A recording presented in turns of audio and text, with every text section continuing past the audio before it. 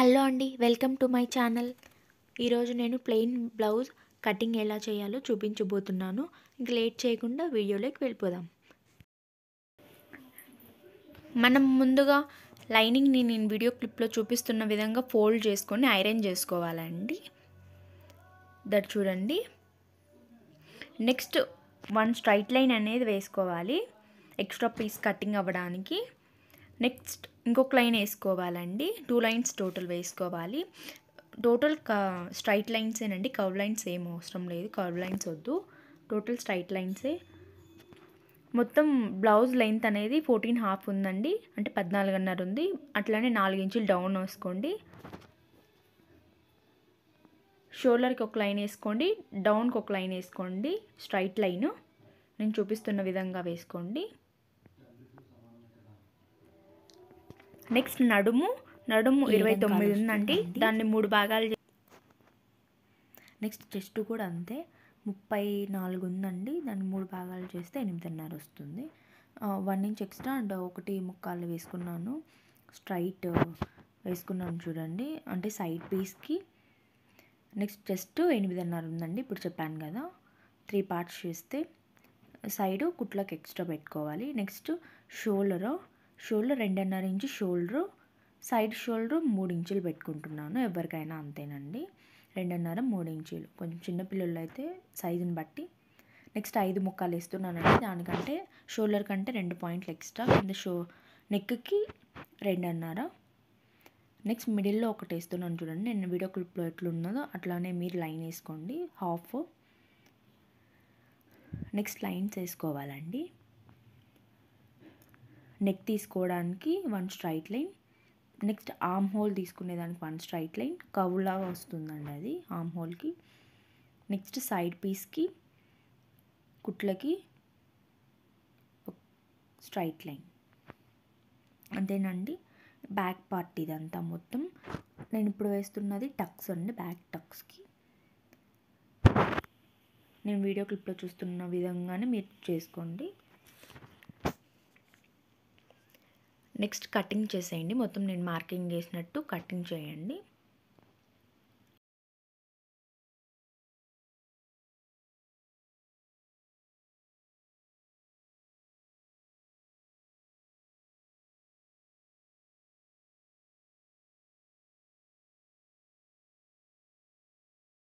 Next మనం హ్యాండ్స్కి లైనింగ్ని ఫోల్డ్ చేసుకోవాలి. నేను చూపిస్తున్న విధంగా ఫోల్డ్ చేసుకోండి.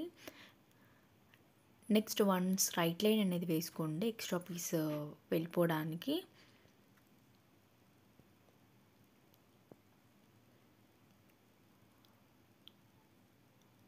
తర్వాత ఇంకొక లైన్ వేసుకోండి.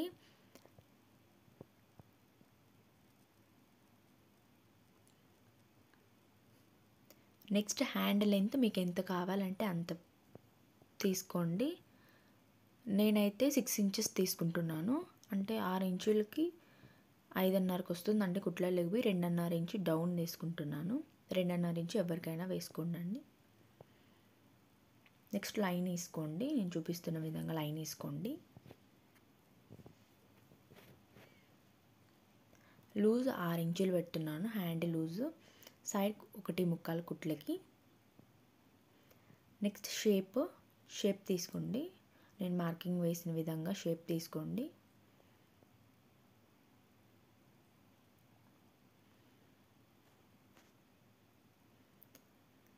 నెక్స్ట్ దీనికి ఫ్రంట్ బ్యాక్ అనేది ఉంటుందండి. హ్యాండ్కి ఎక్స్ట్రా పీస్ సైడ్ కటింగ్ చేసేయండి. చట్కా ఒకటి వేసుకోండి. మనకు బాగా అర్థం అవ్వడానికి. ఫ్రంట్ నేను ఇప్పుడు తీస్తున్న పార్ట్ ఫ్రంట్ అండి. ఫ్రంట్కి మార్కింగ్ వేసుకొని కరెక్ట్ షేప్ అనేది తీసుకోండి. నేను చూపిస్తున్న విధంగా షేప్ అనేది తీసుకోండి. కట్ చేసుకోండి.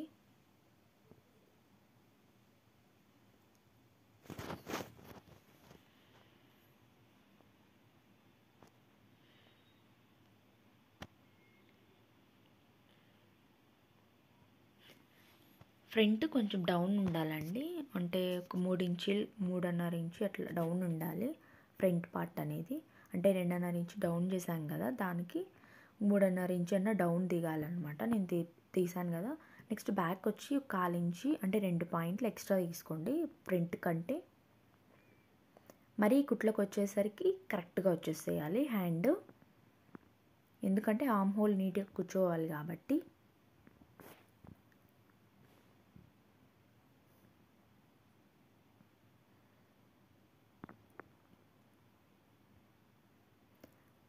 చూసుకోండి. ఫ్రంట్ బ్యాక్ షేప్ ఎలా ఉందని అలా అలానే మీరు తీసుకోండి.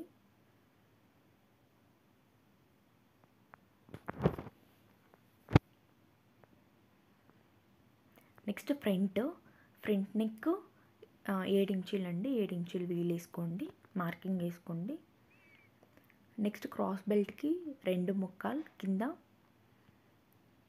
మిడిల్లో మిడిల్లో డౌన్ వన్ ఇంచు ఎవరికైనా వన్ ఇంచ్ రెండు ముక్కాలు అనేది కూడా కామన్ సైడ్ రెండున్నర క్రాస్ బెల్ట్కి అది కూడా కామన్ ఎవరికైనా. ఎవరికైనా ఒకటే విధంగా ఉంటుందండి కింద క్రాస్ బెల్ట్ కింద లైన్ పడేట్టుగా వన్ ఇంచ్ వేసుకోండి. అంటే సేమ్ పైన ఎలా పెట్టానో కింద కూడా అలానే. వీల్ వేసుకోండి అంటే మార్కర్ లాగా బాగా కనిపించడానికి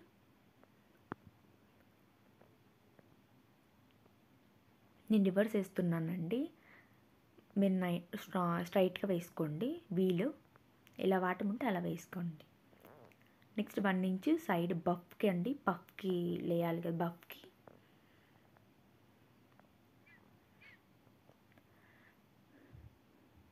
స్కేల్తో కర్వ్డ్ ఉంటుంది కదా స్కేల్ కర్వ్ స్కేల్ దానికి కర్వ్డ్ వేసుకోండి. స్ట్రైట్ కాదు కర్వ్. ఇక్కడ కూడా కర్వే.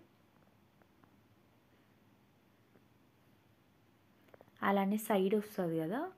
సైడ్ పైన చెస్ట్ దగ్గర ఒక రెండు రెండు పాయింట్లు అంటే కాలించి పెట్టుకోండి.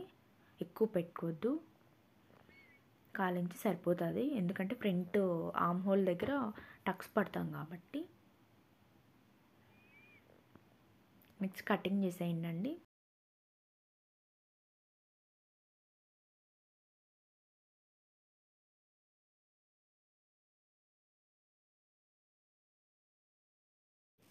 నెక్స్ట్ మనము క్రాస్ బెల్ట్ షేప్ రావడానికి హాఫ్ ఇంచ్ ఎక్స్ట్రా వేసుకోవాలి. కట్ చేసుకోవాలి.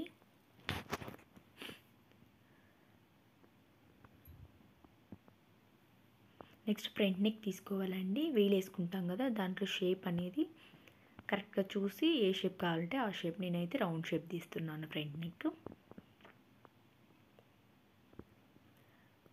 షేప్ చూసి అడ్జస్ట్ చేసుకోండి.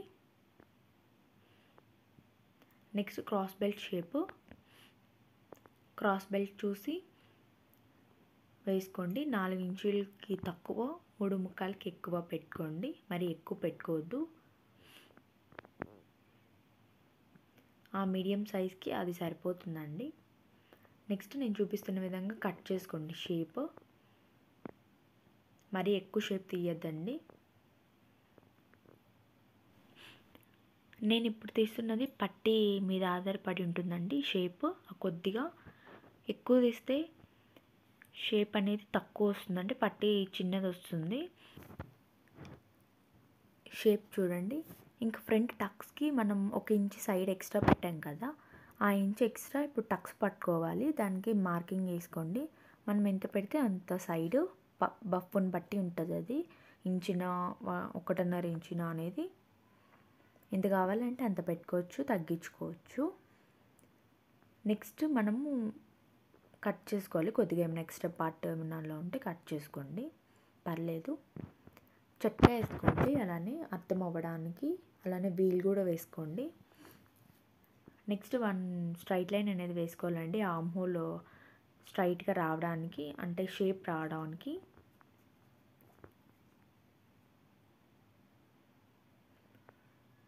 ఒక పిన్ అనేది కూర్చోండి. నేను చూపిస్తున్న విధంగా కూర్చోండి. ఎందుకు పిన్ కూర్చోాలంటే శంఖ భాగం అనేది కరెక్ట్ పర్ఫెక్ట్ షేప్లో రావడానికి పిన్ అనేది కూర్చోమంటున్నాను. ఆర్మ్ హోల్ అనేది నీట్గా రావడానికి. నేను చూపిస్తున్న విధంగా పిన్ పెట్టుకోండి. ఏ పిన్ అయినా పర్లేదు. హెమ్మింగ్ పిన్ అయినా లేకుంటే సేఫ్టీ పిన్ అయినా ఏదైనా పిన్నే కదా పెట్టుకోండి. అంతేనండి చూపిస్తున్నాను కదా అలానే. నెక్స్ట్ సంఖ భాగం పర్ఫెక్ట్ షేప్లో రావాలి. నేను ఎలా అయితే చూపిస్తున్నానో అలా పర్ఫెక్ట్ షేప్లో రావడానికి ట్రై చేయండి. ఫస్ట్ ఫస్ట్ అనేది రాదండి. చాలా ప్రాక్టీస్ అనేది చేయాలి దానికి. చాలా ప్రాక్టీస్ అనేది ఉండాలి. ఇంకొక గుర్తు పెట్టుకోవాల్సిన విషయం ఏమంటే మనం సంఖభాగం తీస్తున్నప్పుడు సైడ్ ఇంచి ఉంటా అంటే పెట్టుకుని ఉంటాం కదా ఒకటి ముక్కాలు ఇంచి అది చూసుకొని అది మార్క్ వేసుకొని తర్వాత మన శంఖభాగం అనేది ఇంత ఉంటుంది అని తెలుస్తుంది కదా అంత మాత్రమే తీసుకోవాలి. ఎక్స్ట్రా రాకూడదు అలానే తక్కువ రాకూడదు. ఇప్పుడు సపోజ్కి నేను ఏడన్నర తీస్తున్నాను మెజర్మెంట్ బ్లౌజ్కి ఏడన్నర ఉంది మనం కూడా అంతే తీసుకోవాలి. ఎక్కువ రాకూడదు తక్కువ రాకూడదు. పర్ఫెక్ట్ షేప్లో వచ్చినాక నెక్స్ట్ బ్యాక్ అంటే వెనుక భాగం అనేది ఇది ముందర భాగం వెనుక భాగం అనేది మనం కట్ చేసుకోవాలి.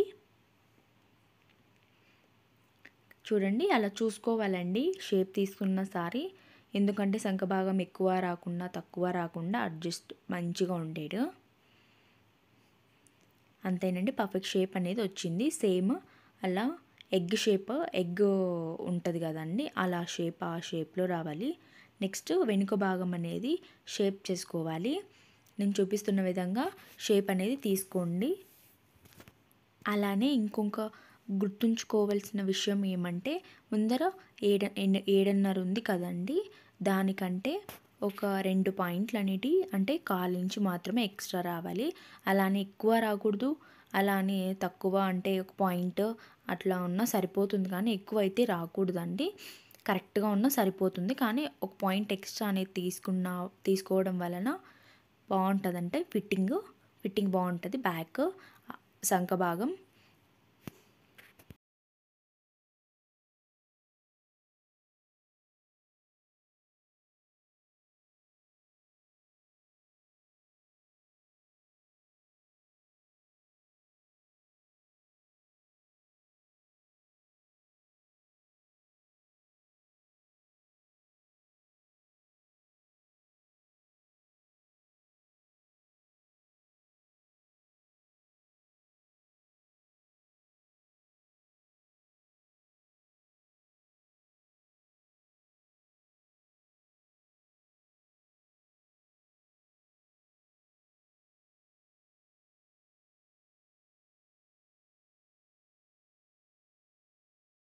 ఫ్రంట్ బ్యాక్ సంఖభాగం రెండు తీసుకున్న తర్వాత షేప్ తీసుకున్న తర్వాత స్కేల్తో వీల్ అనేది వేసుకోవాలండి. చట్కా వేసుకొని వీల్ అనేది వేసుకోవాలి.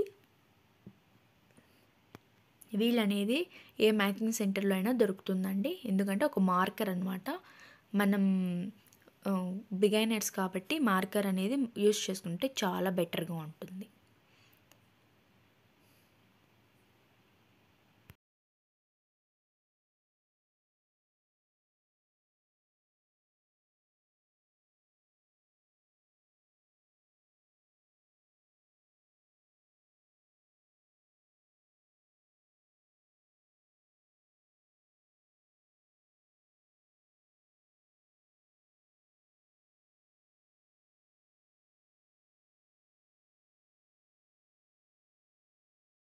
శంఖ భాగం పూర్తి అయిన తర్వాత క్రాస్ బెల్ట్ అనేది షేప్ తీసుకోవాలండి. క్రాస్ బెల్ట్ తీసుకోవాలి. వే మార్కర్తో మార్కింగ్ వేస్తున్నాను చూడండి. అలా మార్కింగ్ వేసుకోవాలి. అంటే ఒక మార్కింగ్ లాగా పనిచేస్తుంది ఆ మార్కింగ్ అనమాట మార్కర్. నెక్స్ట్ క్రాస్ బెల్ట్కి చూసుకోవాలండి. ఎంత ఉంది అనేది మరి ఎక్కువ రాకుండా తక్కువ రాకుండా అడ్జస్ట్ కుదరడానికి. మధ్యలో టక్స్ పట్టింటాం కదా అది వదిలేసి పట్టుకోండి. ఆ సైడ్ నుంచి రెండున్నర ఉంది. ఈ సైడ్ నుంచి నైన్ ఇంచెస్ టెన్ ఇంచెస్ ఉంది. చూడండి కరెక్ట్గా.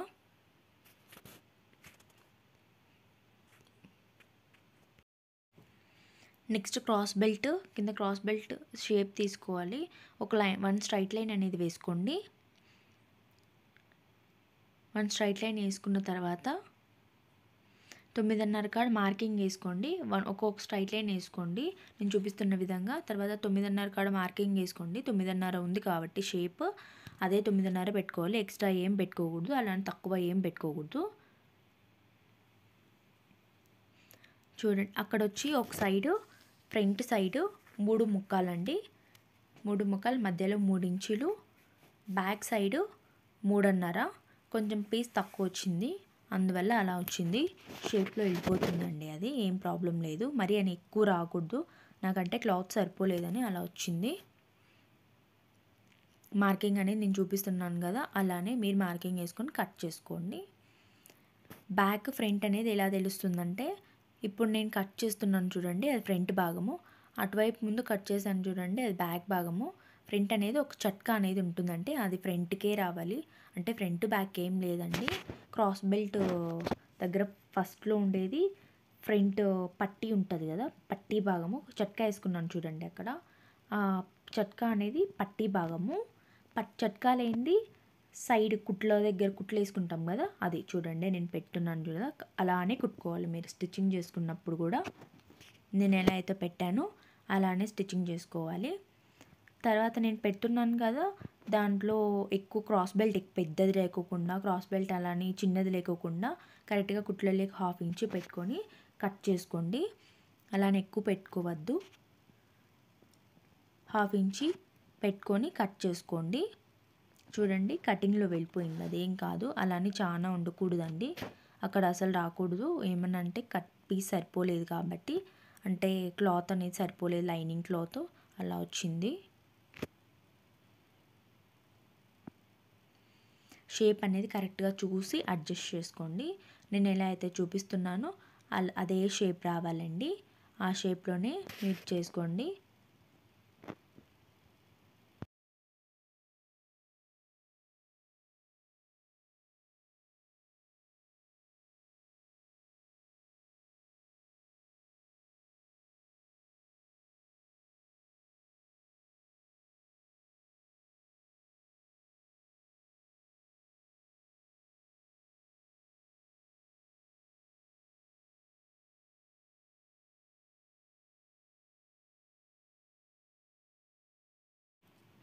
బ్లౌజ్ కటింగ్ అయిపోయాక హ్యాండ్స్ ఉంటాయి కదా హ్యాండ్స్ వీడేసుకోండి అంటే చట్కా ఎక్కడి వరకు అంటే కుట్టు ఎక్కడి వరకు రావాలి అనేది చూసుకొని నేను ఎలా అయితే చూపిస్తున్నానో అలా ఒక లైన్ వేసుకోండి. అలానే ఒక చట్కా వేసుకోండి అక్కడ. మార్కింగ్తో మార్కర్తో మార్కింగ్ వేస్తున్నాను. ఎందుకంటే కుట్టు దాని మీదనే రావాలని మనకి గుర్తు ఉంటుంది నెక్స్ట్ మన తీసుకున్న మెజర్మెంట్స్ కొలతలు అనేటివి కరెక్ట్గా ఉంటాయి. అలానే లూజ్ లేకుండా టైట్ లేకుండా కరెక్ట్గా ఉండడానికి. తర్వాత జాయింట్కి నేను పీస్ వేస్తున్నానండి. అంటే కొంచెం జాయింట్ పడింది సైడ్ ఆర్మ్ హోల్ ఎక్కువగా ఉన్నందువల్ల అంటే శంఖ భాగం పెద్దదిగా మెజర్మెంట్కి తగ్గట్టు ఉండడం వల్ల ఆర్మ్ హోల్కి పీస్ అనేది పడింది. స్టిచ్చింగ్ చేసుకునేటప్పుడు మీరు ఆమ్ హోల్కి జాయింట్ అనేది వేసుకోండి.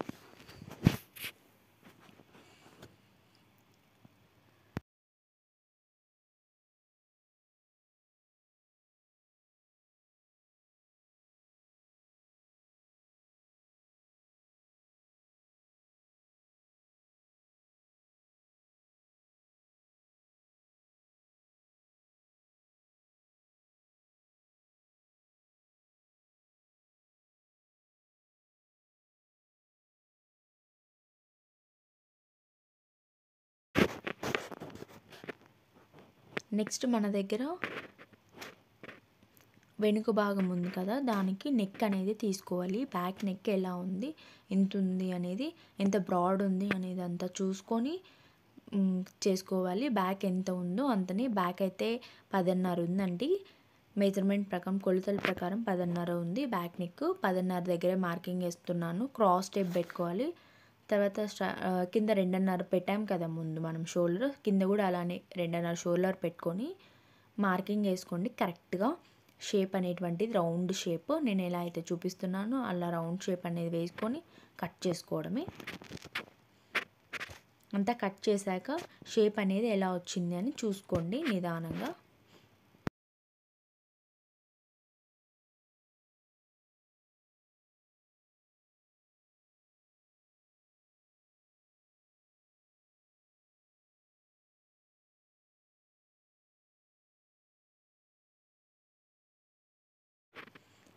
నెక్స్ట్ మనం కింద ఒక లైన్ వేసాం కదా అక్కడ కుట్టు రావాలని చెప్పాం కదా అక్కడ కూడా మార్కర్తో మార్కింగ్ చేసుకోండి. అక్కడే కుట్టు రావాలని మనం స్ట్రైట్గా కుట్లు అనేటివి వస్తాయి. అప్ అండ్ డౌన్ అయితే బాగోదు కదా. ఫినిషింగ్ అనేటువంటిది నీట్గా రావడానికి మార్కర్తో మార్కింగ్ వేసుకోండి నీట్గా ఉంటుంది. అంతేనండి. సైడ్ తర్వాత టక్స్కి బ్యాక్ సైడ్ కుట్లకి అనేది వీలు వేసుకోండి తర్వాత ఫ్రంట్కి వచ్చి మనం పిన్ పెట్టాం కదా అక్కడ ఒక వీల్ అనేటువంటిది వేసుకోండి. అంటే మార్కర్తో వేసుకోండి మార్కింగ్ అనేటువంటిది. నెక్స్ట్ అది టక్స్ ఫ్రంట్ టక్స్ కండి. తర్వాత పట్టి దగ్గర కూడా ఒక అంతేనండి బ్లౌజ్ కటింగ్ అయిపోయింది. ఎలా ఉందో కామెంట్ చేయండి. డౌట్స్ ఏమైనా ఉంటే కామెంట్ చేయండి. నేను డౌట్స్ క్లారిఫై చేస్తాను. అంతేనండి బ్లౌజ్ కటింగ్ అయిపోయింది. ఎలా ఉందో నచ్చితే లైక్ చేయండి షేర్ చేయండి అండ్ సబ్స్క్రైబ్ చేసుకోవడం మాత్రం మర్చిపోకండి. బాయ్ అండి.